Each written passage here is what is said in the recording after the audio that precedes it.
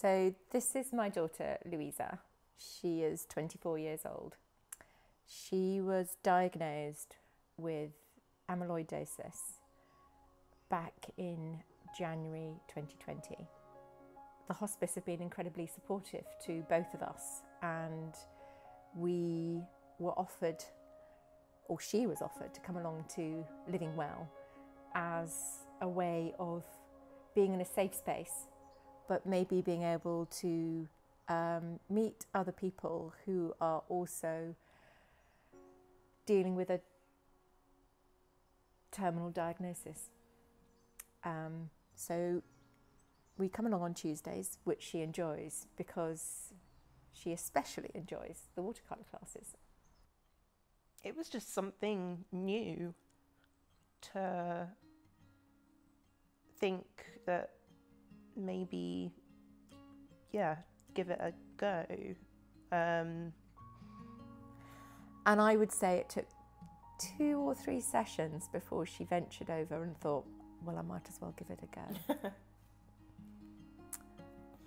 and then there's no looking back, is there? you love it. Yeah, I really do. She loves the people who are there, who work there. She really likes Alan. He's so kind and helpful and really wants Louisa to get the best out of learning a new activity. And that's a joy. And then there's the other people, the old people, who Louisa now, what do you say about them? You say they're your friends. and she loves it. She loves the fact that when she so walks in sweet. through the door, they go, Here's Louisa. They, they do. They, to hear, hear me, it's just um, You love that. so sweet. And you sit down, and what did you say to me yesterday? It makes you forget. Yeah, I feel, I feel when I've got someone ne- next to me and I just I feel like I forget being poorly.